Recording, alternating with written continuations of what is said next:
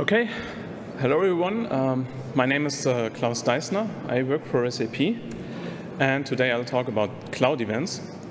And I want to focus mostly on the benefits I see in cloud events.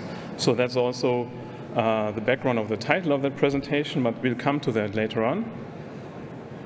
So I want to start with uh, something entirely different. It seems it's also about eventing. I will come to that. So way back when I started my programming journey, that was actually on this nice machine, an Atari ST. I don't know if anybody here remembers those kind of machines. And yes, what does that have to do with eventing? So those had already those nice graphical user interfaces. And to program those, you also needed to know something about events. And there were those C APIs we had, and um, I don't gonna go, of course, into all the details of that function call you see here, but what you could do is you could pass back control to an operating system and uh, let you get notified when the user did some kind of interaction, like a mouse button, uh, selecting a menu item, those kind of user interface events.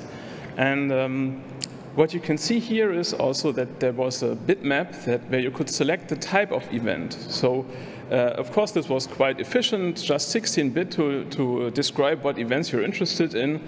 But why does that remind me of cloud events now? In cloud events, we also attach certain metadata to events, to all kinds of messages.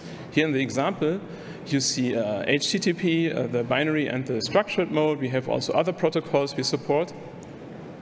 And um, most importantly, in, in uh, regards also to the example I had here with my old Atari computer, is the type field you can see here.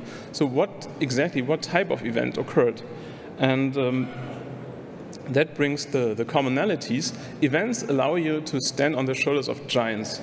You can uh, plug maybe some really simple logic into larger systems without understanding and knowing all the details of those larger systems you don't have to know about running a blob store or something. You just get notified when something new has been uh, saved in there, for example.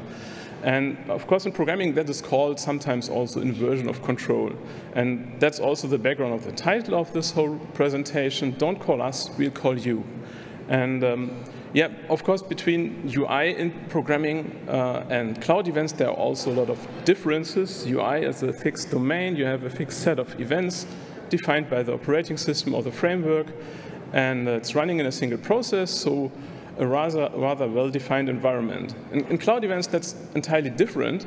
You can define any kind of event about any kind of uh, occurrence, and you have uh, protocol bindings, one example you saw on the slide before, and um, it's, it's really about creating also an ecosystem of event sources that support cloud events. And uh, this protocol binding is necessary because Cloud Events is all about events in distributed systems.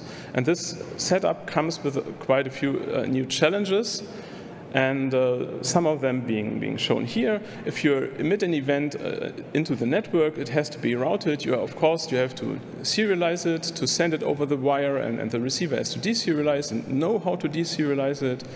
Um, there's also consistency questions. The different participants might not be in the same life cycle. They're deployed independently. They might even belong to different organizations. And um, the, on the other hand, events are really everywhere in distributed systems these days. And uh, as much as they are varying in the formats and the schemas, the business logic they support, maybe also in the kind of processing, you see here also Kafka in in the picture, for example, um, there are still some things they all have in common. And wouldn't it be nice to um, have some, something that can leverage this commonality and that you can, could really process these events in a certain unified way? And that's uh, what Cloud Events aims at supporting.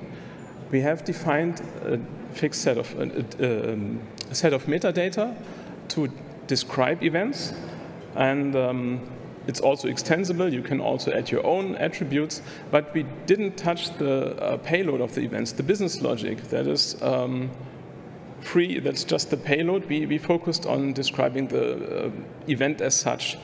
And uh, this gives a great benefit. If you remember the picture before, in all those environments, you can still trust in an event having something like a source, a type.